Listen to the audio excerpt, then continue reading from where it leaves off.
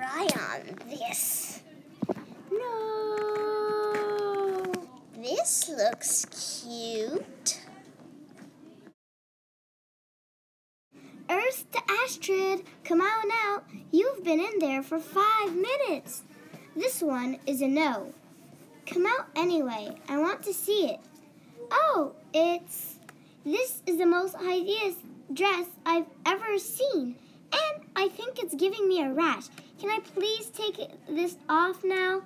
Nicole! Mom! I forgot. And for once in my recent steering of lies, my mind was a complete blank. I could think of nothing to divert my mom's attention. Nicole, over here, sweetie. Oh my goodness, it's so nice to see you. I haven't seen you in weeks. You know that saying, a deer in headlights? You tell her, Nicole. Isn't that just cute? It's cute, I guess. Hmm. It's the hair. Nothing goes with that hair. How did you escape the hair diving? I, I think my mom would kill me if I dyed my hair. Di- didn't stop Astrid. So, are you excited about the boot? It's all Astrid talks about.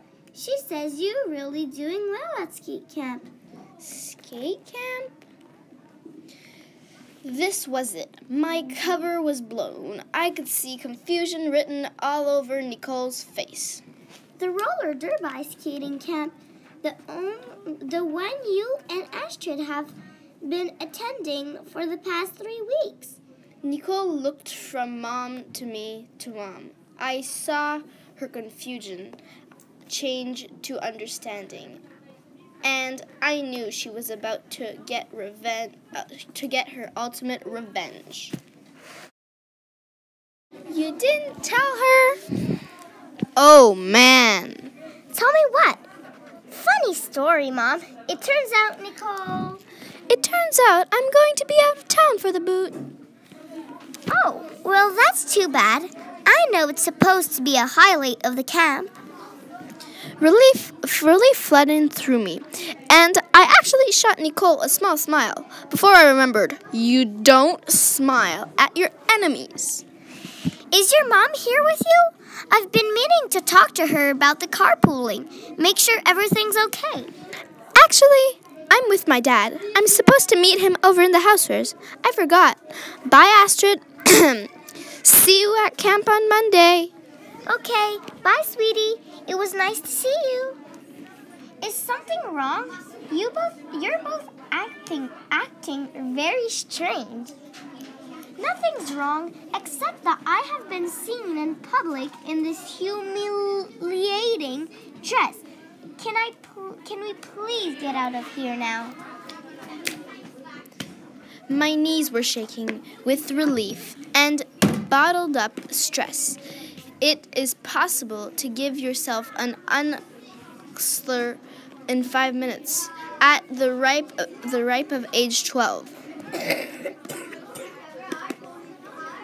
You know, some women, women find shopping to be a relaxing and enjoyable experience.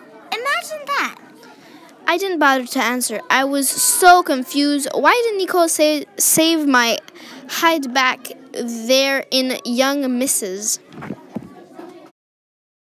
Unless, unless she planned to use this information against me later and somehow get me into even bigger trouble. And then it hit me like a ton of bricks. Oh no! What? What is it? Nothing. The flyer. They had the flyer for the roller derby boot.